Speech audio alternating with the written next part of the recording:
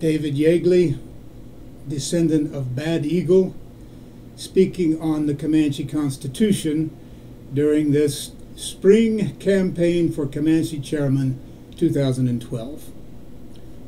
The first thing that I would like to say about the Constitution is simply the plain fact that such a phenomenon as a written constitution governing Comanche people is completely foreign. This is a fact. Now, we have lived with this Constitution for over a century, and it has come to be regarded with uh, a great deal of affection, actually, because it states one or two things that appeal to uh, our intuitions, namely that the people are the boss.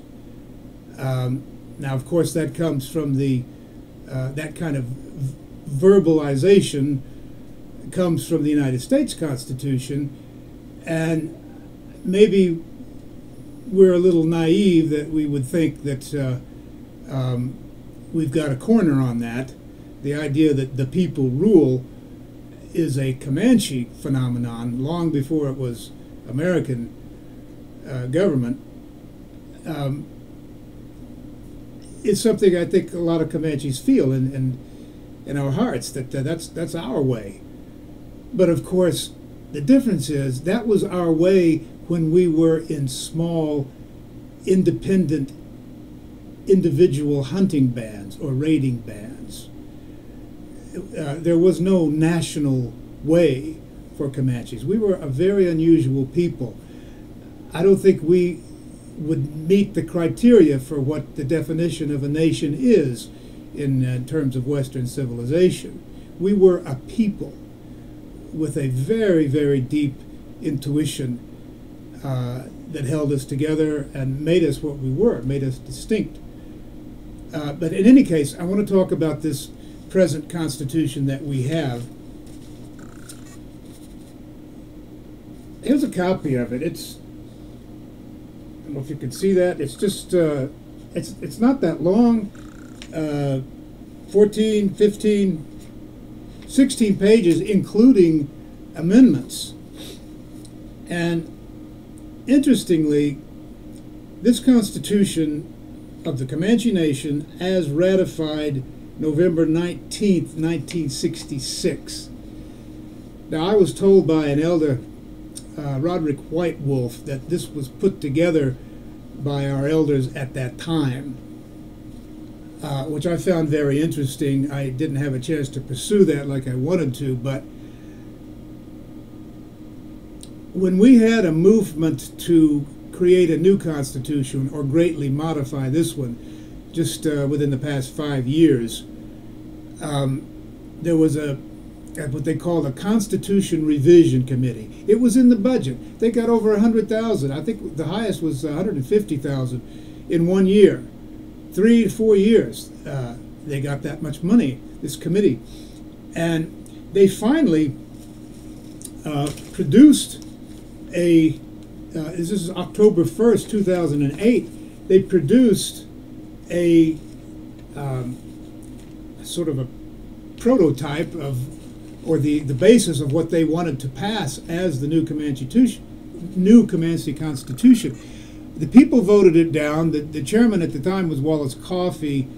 Um, it ended in nothing. After all that money, you know, close to uh, close to half a million over uh, a few years there, it ended in nothing. And um, this is the document that we have for it. Um, during that time, um, there was a lot of uh, there was this this committee would hold meetings at different places where Comanches lived, and they would discuss with the Comanches what do you want, what kind of changes do you want, uh, what what do you think's wrong with the Constitution as we have it, what do you want amended, what sort of new laws would you want, what new concepts do you have.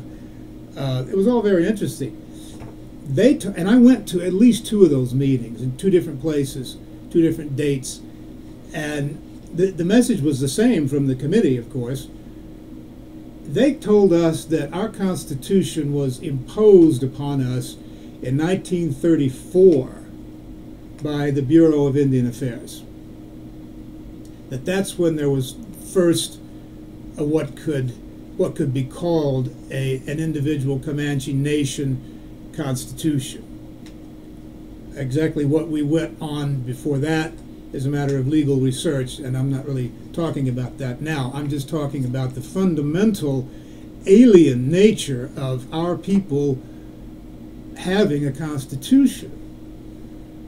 Uh, we've we've sort of meshed our our uh, communal emotions with paper that was basically written on by white white men, the BIA. They gave us the rules of how to be our our nation. They called it a nation. Uh, I suppose that was flattering. They used to call it a tribe, you know, um, which is actually historically more accurate, but um, in some ways, anyway. Um, whether or not our people will abide by our present Constitution forever, I, I don't know. I know that some of our people believe that there's nothing wrong with this Constitution. It's poor leadership. Uh, that can mean so many different things. Um, I think, I, I know, for instance, one candidate that's running for Comanche chairman, as am I. Uh, we differ profoundly on this. Uh, Eleanor McDaniel, her name, uh, she she thinks that this is a perfectly adequate constitution, and what we need is quality leaders. Well, I that may be true, but I'm going on a, a deeper instinct here. I, am in the in the um, process of trying to think of ways to incorporate our older ways into our actual Constitution. As a matter of fact, in 2007, in the midst of all this Constitution revision activity, I wrote a Constitution myself. And I recommended that every man, every Comanche man worth his leather, uh, write their version of a constitution. Get into it. Get your mind into the people, uh, the governance. What do we do today in 2007? Uh, my constitution was uh, a little shorter. I, I, have 12 pages here, but that's without any amendments, of course. Um, people read it. People uh, commented on it. Um, and I think I, I, never heard any negative feedback from it. In fact, I heard positive feedback from it.